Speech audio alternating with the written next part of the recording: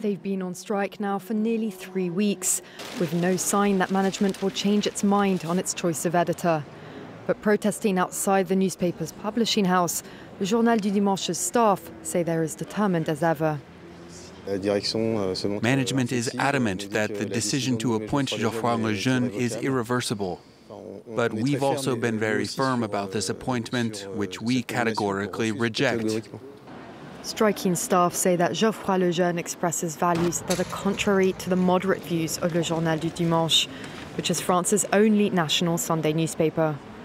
Lejeune is close to several senior far right political figures and was formerly editor of far right weekly Valeurs Actuelles.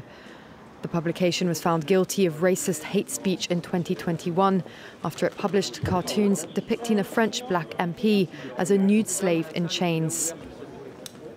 Every day, 95% of us vote to extend the strike. What we're fighting for isn't just our newspaper. It's very important because we're very attached to the paper, but we're fighting for something bigger than ourselves.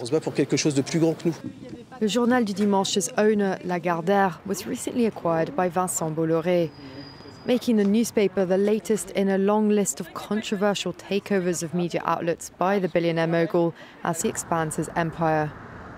In 2016, Bolloré provoked a record staff walkout when he acquired news channel iTélé, then turned it into ultra-conservative mouthpiece CNews. Dubbed France's Fox News by critics, CNews provided an important platform for far-right presidential hopeful Éric Zemmour and has helped to move hardline views into the mainstream. Staff at Le Journal du Dimanche fear the same fate for their paper and are calling on French President Emmanuel Macron to bring in more protection of media independence.